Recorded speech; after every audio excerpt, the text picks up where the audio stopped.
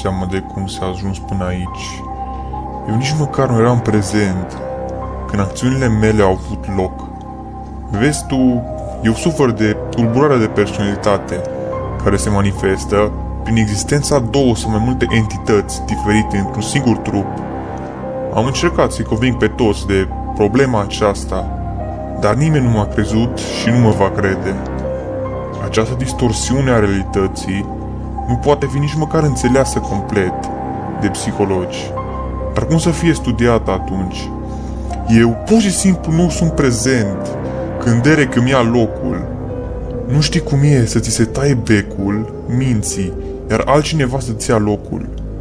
A se tăia becul e termenul folosit în medicină atunci când o personalitate ia locul celelalte. Nu știi ce îngrozitor e să fii scos din circuit, iar atunci când îți revii, să nu-ți dai seama ce ai făcut. Doctorii cel puțin mi-au stabilit diagnosticul, iar părinții mei încearcă mereu să se comporte frumos în preajma mea, ca să nu mi se taie din nou becul. Majoritatea persoanelor ce suferă de această boală au avut tot timpul, tot felul de traume în copilărie. Eu nu pot să spun că am fost neapărat bătut, deoarece tortura mea era mai mult psihică.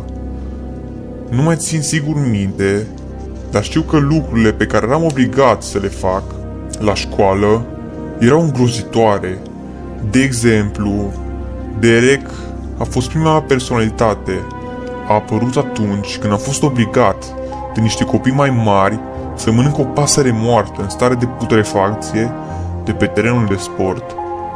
Când el mi-a luat locul, i-a lovit pe cei copii, ba mai mult, chiar a pus pe fugă. Cel puțin, mie mi s-a spus că i-am bătut și am făcut să plângă, dar explicațiile mele nu au schimbat cu nimic situația. De atunci, părinții care au fost singurii care m-au crezut, au început să mă duc la doctor, să mi se pună un diagnostic sigur.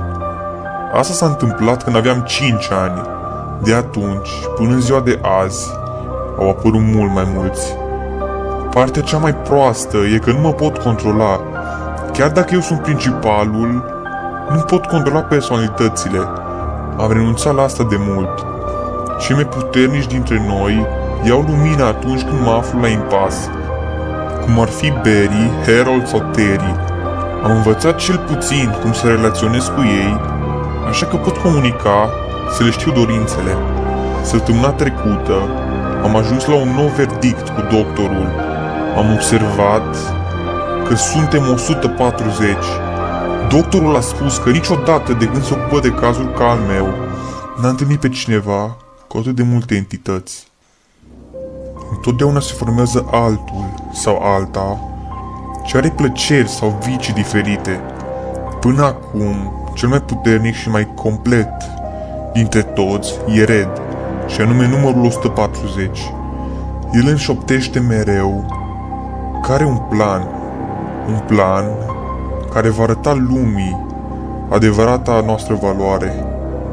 Mi-a spus că cel perfect se apropie, mi-a spus cum că cel indestructibil va veni în curând și îi va cruța doar pe cei suficient de puternici, pe cei ce pot urca la etapa maximă de evoluție a omenirii.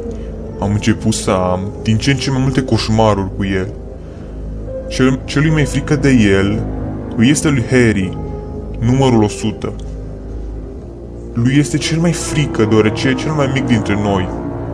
El mi-a spus că a auzit cum bestia a spus că nu-i va lăsa la suprafață decât pe cei puternici, iar pe cei inutili îi va trage în iadul din care s-a născut și îi va devora de vii. Înainte ca să nu mai existe în capul meu vreodată, Harry mi-a spus că bestia are de gând să continue și cu oamenii cărora le e frică de gloria lui și că nu se va opri până ce fiecare persoană va fi trecând prin suferințele prin care am trecut eu pentru a ajunge la treapta supremă evoluției. Încă nu i-am spus doctorul despre 141 și nici nu am de gând, mai ales după visurile în care văd cum arată. E mare, mai mare decât oricare dintre noi. Are colți ascuțiți, păr pe degete și se poate folosi de cele mai indestructibile materiale pentru a-și contopi structura cu ele, înainte ca Red să-mi ia locul pentru totdeauna, așteptând catalizarea lui. Mi-a spus că nimeni nu va putea opri, iar nicio armă nu va fi de ajuns de puternică pentru a-i trece prin piele. Scriu aceste rânduri înainte ca bestia să mă tragă la el pentru totdeauna și să devoreze din mine tot ceea ce am fost vreodată.